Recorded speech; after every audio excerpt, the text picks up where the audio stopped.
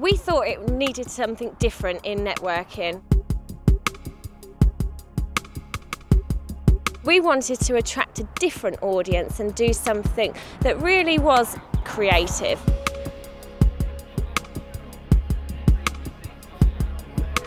It's nice to work locally and always support people in the community. Well, it's such a great opportunity for Hensmans to network with lots of people from different companies. I wanted to open an independent fashion boutique, which is great, just offering different styles and fashion to suit all different ages and particularly sizes as well. Well, it's going to put our name out in the environment. People are, it's good to get together, it's good to exchange ideas and look to the future to improve our businesses and see where we can help one another and support one another.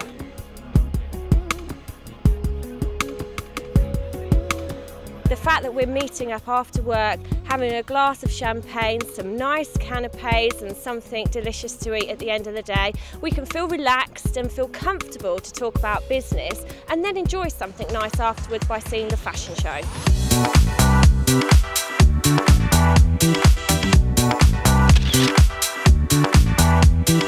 Simplistic looks are very in at the moment, very sort of Prada, uh, simple lines, simple clean cuts uh, are very in at the moment. Definitely a lot of rock chick look really. Black is featured heavily in the colour palette. Lots of uh, faux fur, leopard print, cargo pants, big woolen capes.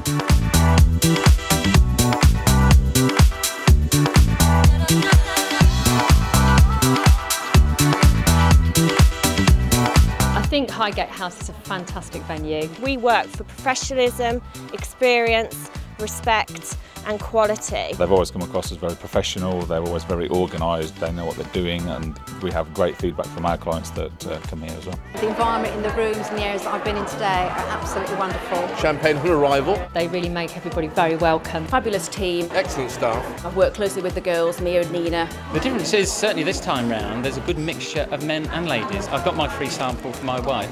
The main difference is that it's a, such a great mix of people. Tonight's been excellent because of the variety of businesses that are actually represented here. To me, it's one of the best venues.